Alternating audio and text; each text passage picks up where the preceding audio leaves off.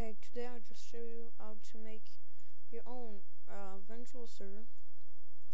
I don't know for you if it work or will work, but me it doesn't work. So, just show you how.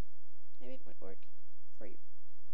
Just go to all programs, Ventrilo serve, edit any file, just see names, can change it.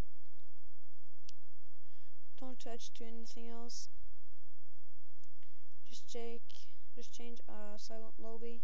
Lobby to 0 to 1 don't change anything else. Save it up.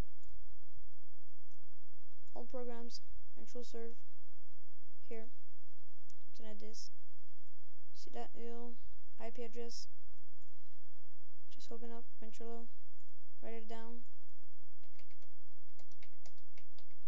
so work show hope yeah so I'm connected. Um I tried with friends but um, they can't connect. I don't know why.